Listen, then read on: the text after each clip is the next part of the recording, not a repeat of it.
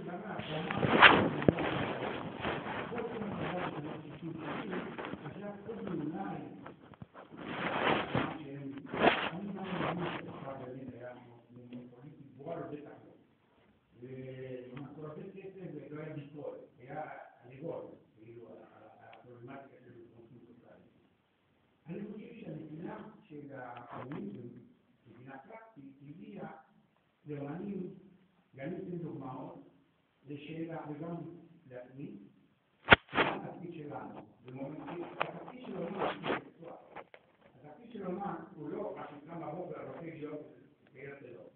יש איזה קונספט שהאמנים הם מתנהגים כלפי החברה.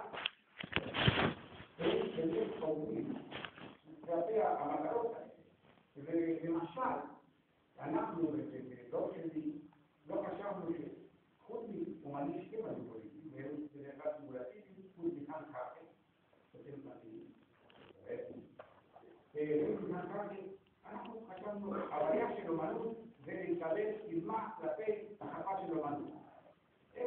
קונסיסט לא צרפתי, שבא מהפילוסופיה של הצרפתים, קצת אונליסטי, ואנחנו היינו כולם